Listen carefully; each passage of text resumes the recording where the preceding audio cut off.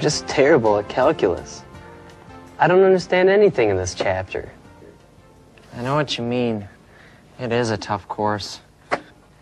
Did you figure out the answer to this problem?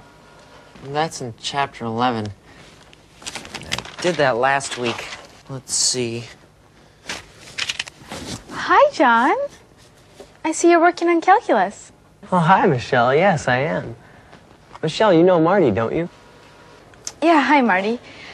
Say, John, I've got a couple questions about chapter 12. Do you want to study together? Well, uh, actually, I'm still on chapter 11, but Marty here is working on chapter 12. Ah, that's okay. Actually, I've got to go to class right now. See you later. Okay, Michelle, see you. Gee, John, how do you do it? What? Girls. They always talk to you. They never even notice me. That's not true. Yes, it is. Listen, I need some advice. Well, maybe you could cut your hair. And your clothes. I don't know. They could be a little neater. I see what you mean. You need to be more outgoing. And maybe you should exercise. Then you'd have more energy. Well, when do we start? Well, how about right now? Okay, sounds good to me.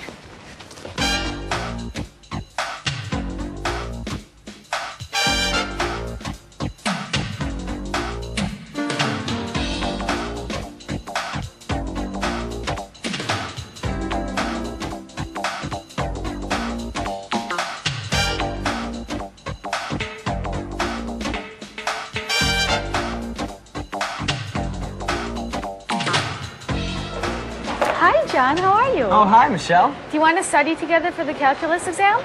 Well, I actually, I have to study for my history exam right now, but maybe Marty has some time. Hi, Michelle. Marty? Yeah. I didn't recognize you. There's something different about you. Did you change your hairstyle? Well, it's a little shorter. Hmm, maybe that's it. Well, anyway, would you like to study for the calculus exam? Sure, no problem. When do you want to start? How about right now? Okay. Looks like Marty has a new friend.